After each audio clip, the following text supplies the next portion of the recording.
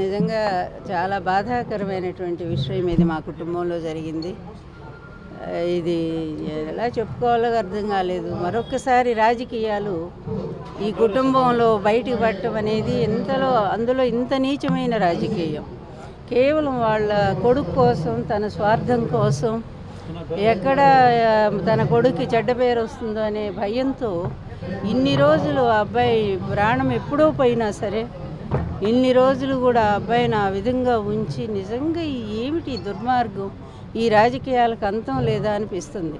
నా భర్త అట్లాగే కుమిలి కుమిలి చనిపోయాడు ఇతని వల్ల. ఈరోజు ఈ కుటుంబం వాళ్ళకి సాయం చేద్దామని చెప్పి పాపం ఎంతో మంచి పిల్లాడు తారకరత్న.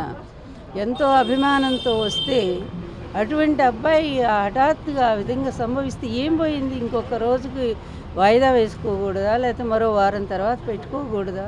అలాంటి అబ్బాయి మరణాన్ని ఆ రోజే జరిగిందనేది డాక్టర్లు అప్పుడే చెప్పారు. ఎందుకంటే గుండె ఆగిపోయిందని చెప్పినప్పుడే అందరికి అర్థమైపోయింది. కానీ వాళ్ళ స్వార్థం కోసం ఎక్కడ అపశకునంగా ప్రజలు భావిస్తారు అని వాళ్ళ తండ్రి కొడుకులు ఇద్దరు అపశకునం అనేది ఈ పాటికి జనాలకు అందరికి కూడా ఎప్పుడో అర్థమైంది. వీళ్ళు చెప్పినా చెప్పకపోయినా ఎలా దాచిపెట్టినా కూడా ఈ జరిగిన దుర్మార్గం అనేది మాత్రం ఎందుకంటే గుండె పిండేస్తుంది. ఆ- ఆ కుటుంబ సభ్యులకి తెలుసు ఆ బాధ ఏంటనేది.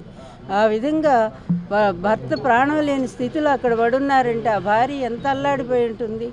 ఆ పిల్లలు ఎంత బాధపడి ఉంటారు? తల్లిదండ్రులకు ఎంత దుఃఖం ఉంటుంది?